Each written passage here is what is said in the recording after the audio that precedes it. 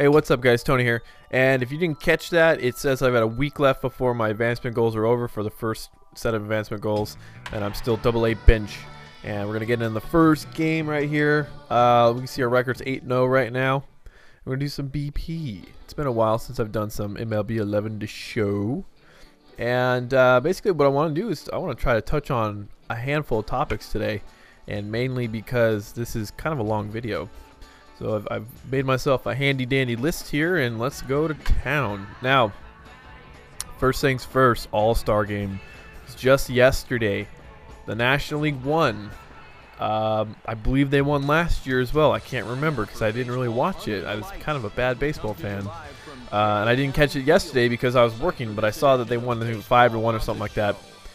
Adrian Gonzalez hits a home run. Prince Fielder hit a home run. I think he hit like a three run shot. Best thing about the All Star game Heath Bell sprinting in from the bullpen, sliding there uh, in the infield, going up to uh, the pitcher's mound. I think, uh, as far as I understand, that made like Sports Center and stuff like that. I'm not sure. I didn't get a chance to watch it last night. I um, I think I fell asleep on my couch last night watching Top Gear or something like that. I don't know, but uh, oh, just quite a little tangent here. I found Top Gear on my brother's Netflix, so I've been watching a little bit of that. And I actually want, I think I'm gonna do a Gran Turismo 5 video here pretty soon. I want to show you one of the funniest clips I've ever seen at a Top Gear. I mean, it, it's hilarious. But uh, anyways, yeah. So the All Star game. Um, I'll be honest. I used to well, I used to like. I prefer when the All Star game doesn't have any sort of meaning to it, because uh, now the All Star game determines which team is going to be home team in the World Series. So you've got if the National League the National League won this year, the National League team's gonna be the home team. The American League when they stomped the shit out of the National League for God, it was so many years in a row. They had the home field advantage, and I don't, uh, you know, and that's what I don't like about it. I really think it should go to the team that has the best record. That's just really the, the only fair way to play it. Because I mean, you know, these guys, it's just something fun was lost. Because I remember this one All Star game, and I might have said this before in a commentary uh, previously, previously in a commentary. Um, but there was this one time back when Randy Johnson was pitching with the um, the Mariners. This was a long time ago, 97, 98-ish, I think it was. And Larry Walker was hitting. He's a left-handed hitter, and it was an All-Star game. I can't remember where the All-Star game was. Um, maybe it was at Mile High. I don't know. But anyways, it doesn't really matter. Um, Randy Johnson at the time was kind of known as a wild pitcher. He, you know, he threw really hard. He was kind of wild, and he threw up and in on Larry Walker. And Larry Walker, you know, and this is the fun part about the All Star game. He took his helmet off, flipped it around backwards, stepped into the right-handed batter's box for a pitch, took a pitch, and then went back to the left-hand side. And it's stuff like that. It's that fun factor that I think is is gotten lost now with the pressure of something, uh, the the, the All Star game meaning something, and that's just the way I feel. A lot of people seem to love it. I don't, you know, I don't particularly care for it. It's just, I, I think it seems kind of unnecessary. Um, and uh, and then you know actually good thing this All Star game All Star game didn't go this but uh, this like a long you know because last year that's what I remember about last year is that it went to extra innings and and they were talking about you know Bud Selig calling the game after so many innings or whatever because they didn't want to burn up pitchers and teams are starting to freak out about their pitchers throwing too many innings and uh, I've always remembered remembered that pitchers you know starting pitchers will go in and they'll pitch in the All Star game it's usually starting pitchers who come in like starting pitchers and closers. And you don't see very many relievers getting All Star, you know, ballots. I think they do get, you know, to the All Star game, but you know, if you've got, I don't know, six starting pitchers, you're gonna pitch, you know, each guy like at least an inning because, well, they're starting pitchers, and to be honest, starting pitchers are like uh, lead singers of bands, you know.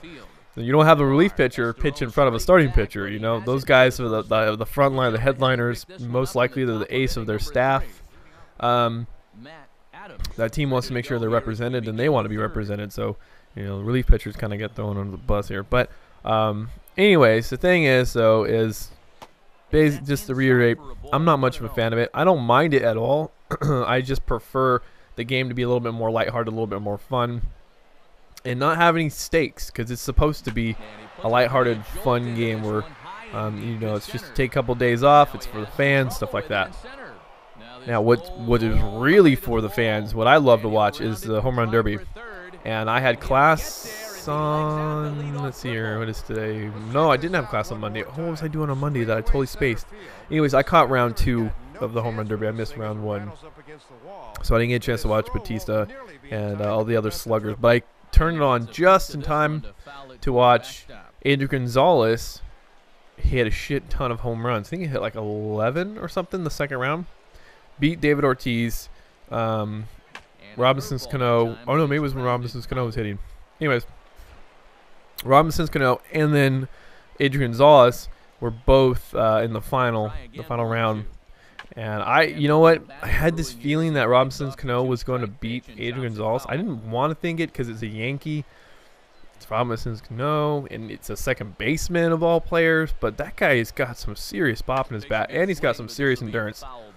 I've never seen a second base. Well, maybe with the exception of Chase Utley. I haven't seen a second baseman that much power in his bat. I mean, he can really mash the ball, and uh, he hit the ton of the ball.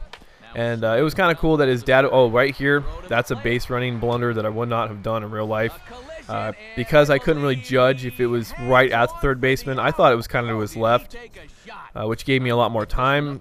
Apparently, I, I, didn't have enough time, so it was kind of a base running blunder on my part, which I shouldn't have done because um, they would have thrown home anyway at a tie game. You know, I got to make sure they get to the shortstop if they're playing deep, you know, or, you know. But anyways, like I thought it was going to go to the 5.5 hole. It didn't. Base running blunder on my part. Um, so, anyways, yeah, that was really cool. See Robinson Cano's father throw, you know, him, uh, and they both of them, the father-son combination, was able to win the home run derby, which is cool. I always love it watching the totals when the State Farm ball comes out, the Golden Ball, and you see like State Farm ends up donating like half a million dollars to charities or various charities. I'm not sure where it goes to, but it's kind of funny. I'm just like, whoa, man, they spend some serious money when those sluggers are hitting home runs on the uh, with nine outs, you know. And the idea is, you know, it's like okay, it's one out, it's one ball. You know, the chances are they're not going to hit that many home runs. But I mean, when you've got half a million dollars, I don't remember what it is per ball. I don't think it's it's definitely not like hundred thousand dollars per ball. I don't think, but still a lot of money to be donated, which is cool. It's good that they do that.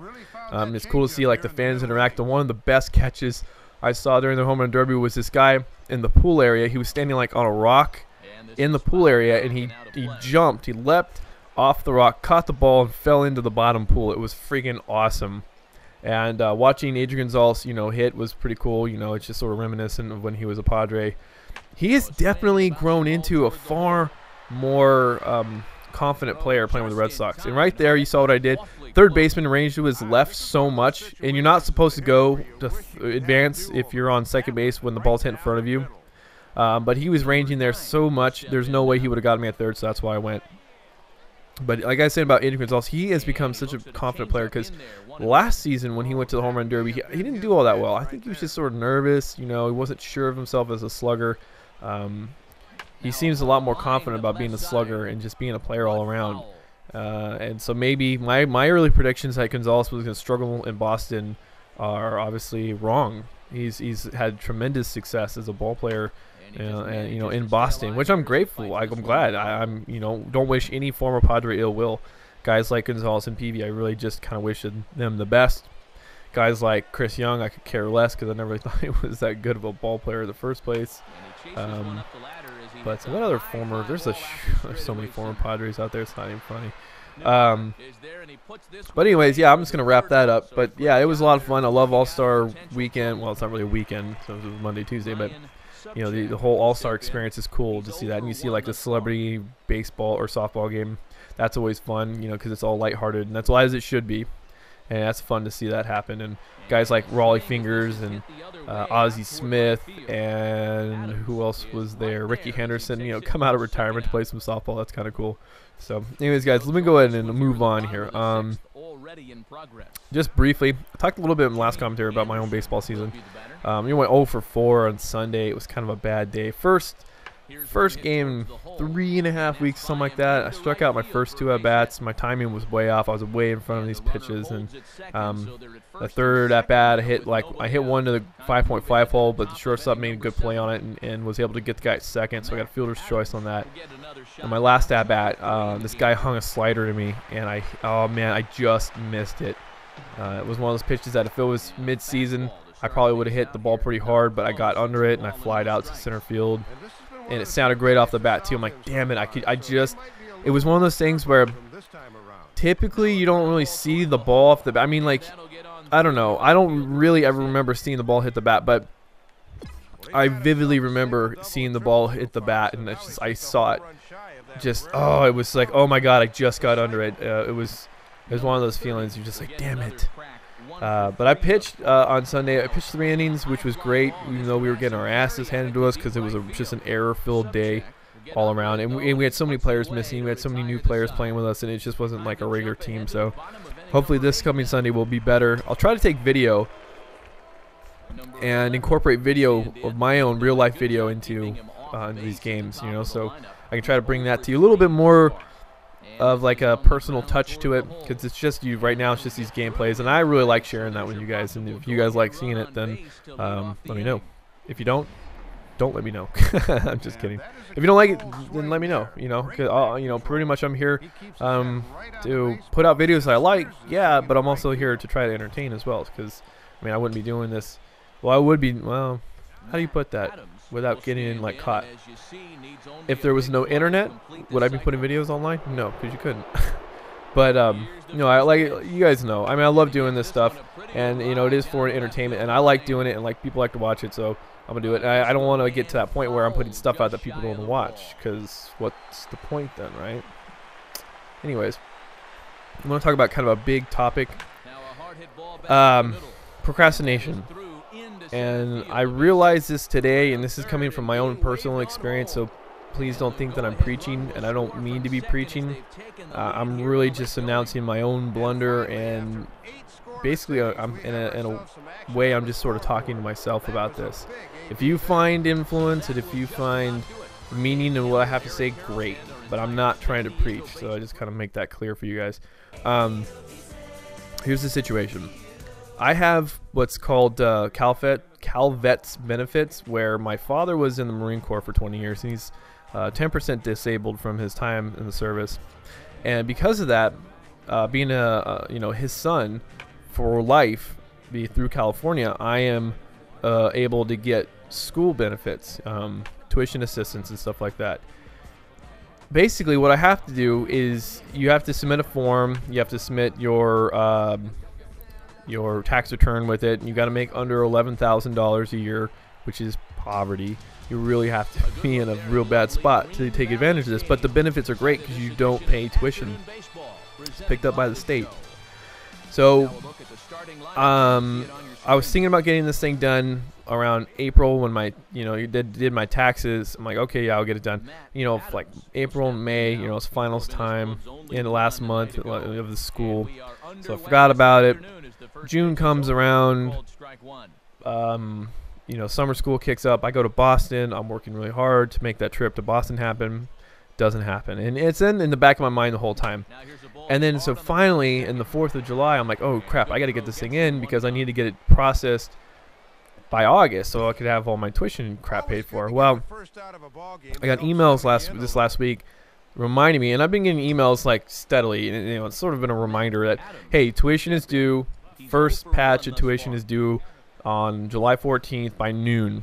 If you don't pay that, then you get dropped from your class. And I'm like, okay, yeah, I'm gonna get that thing done. And you know, it's just was, and, and it's not as if I didn't want to do it because it's very, very important to me. The thing is, though, is the way I work is I have like um like a priority list, and I think most people do for the most part, uh, unless you just don't have priorities. I don't know, but um what's been going on on top of that is school stuff. Like oh i've got to write this paper. I have to write read these documents. I have to go to class. I have to go to work. I have to do this. I have to do that. And it got shelved. And it got shelved at the bottom. And i'll think about it. And it, it all it really took was me going to my parents house which is about a 10 minute drive west from me getting my dad to fill out this form sign it. I sign it. I get my tax return. I mail it. It takes like an hour at most you know?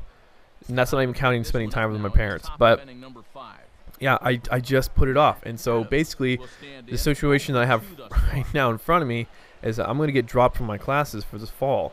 And I will have to re-register, or not re-register, but I'll have to um, and re-enroll in all these classes. I guess that's re-registering for classes. So I have to re-register for classes. The problem is, is that there's certain classes that I need to graduate on time, and so I've really shot myself in the foot in the foot this semester by doing this, and it's not like I intended to. And, and while I was washing my car today, you know, I haven't washed my car in a long time, and I, a while back I was like, I'm gonna wash my car every week. You know, it's about priorities. It's about doing things that you need to do.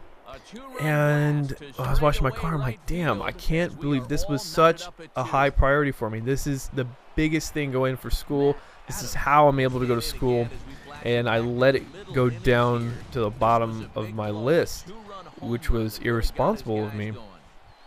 And so basically, I guess the moral of this story is just like, if if it takes uh, just a small amount of time, just get it done, you know. And that's what I told myself. I'm like Tony, you could have gotten this done in June. You could have gotten this done in May, April. I mean, there was several months that I could have gotten this done, could have gotten it in because I called the guys today. I'm like, hey, I just want to check on my application. And they're like, oh, wouldn't you submit it? And I'm like, a couple weeks back, I lied because um, it's only been about a week.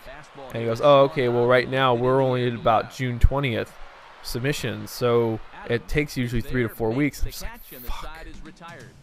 So now, like I said, I have to, I'm gonna have to re-register and everything, and it sucks. It really sucks. So I'm gonna have to be very proactive about this. I'm gonna email my professors, explain to them what's going on. Um, kind of dodged the I fucked up part. I'm just going to tell them that my CalVets hasn't come in yet. And uh, and maybe they'll grant me some leniency when it comes to crashing these classes if it comes to that, which I'm kind of sure it's going to come to that. Um, it sucks. I I, just, I can't believe I did it because I'm a far more responsible person than that. And so yeah, it's just kind of sucks. So, anyways, um, kind of enough on that. If, I mean, if you take something from that, I'm great, awesome. Um, you know, it's sort of a little lesson that I had learned. You, it, you know what? It, it's a lesson that I already know. It's like a refresher, you know. It's just like sometimes you know something and it it takes something. I don't want to say awful because this is not particularly awful. It's a sucky situation. I mean, I'll be in I'll be enrolled in classes next semester, um, but it might put me behind by a semester. So uh, we'll see what happens. But anyways, it's just like like I said, it's like a refresher lesson, if you will. But um, anyways, um, just uh, one quick update before this game ends, which I think I've got just about a minute left before this actual game ends. Um, I'm going to be going to the MLG Anaheim uh, game battle or tournament. I, I don't know. I've never been to one before. I'm really excited to go. I'm going to be meeting up with a lot of cool people there. Um, I don't know if you guys know Roxy Surfer Chick. She's a Southern Californian commentator. Uh, she was living in Pennsylvania, but now I guess she's back in Southern California. I don't know if you guys know OG Walrus. Uh, I've been talking with him the last couple of days. Um, it looks like I'm going to be meeting up with him. And it looks like we're going to be doing a video. And I'll be I'll have my camera there, so I'm going to like vlog about it anyways. But um, we might be doing a video or I might be part of a video. So we'll stay tuned for that, and I'll keep you guys updated on that. Um, I passed my goals, and there, you know, I had a strong showing and stuff, but I'm stuck in double A. But it says that I'm double A bench, which confused me because usually I should be a starter by now after the first set of goals. I don't know. So, so basically, what I'm gonna do is I'm gonna put all the training points that I have, all 197. Uh, I'm gonna put 50 points into my arm because basically I'm just gonna get up to the point where they pass. They're you know checked off. 50 points into the durability, and then I'm gonna put 90 points into uh, right hand contact. My goal is to get the con right hand contact up to 50%, left hand contact up to 50%. Work on the power, uh, and work on the speed, clutch, plate vision, stuff like that. So, anyways, guys, this is this this has been this video of MLB 11. Thanks for watching. Thanks for subscribing, and I'll talk to you later.